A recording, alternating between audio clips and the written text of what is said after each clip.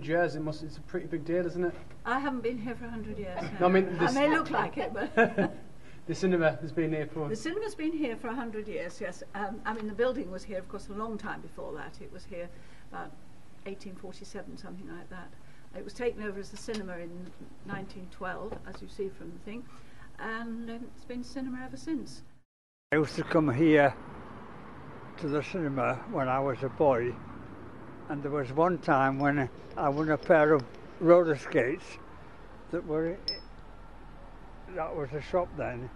I don't know what I had to do. Write an essay about something that they did, some film, and I got this won this pair of roller skates Yeah. when I was about ten.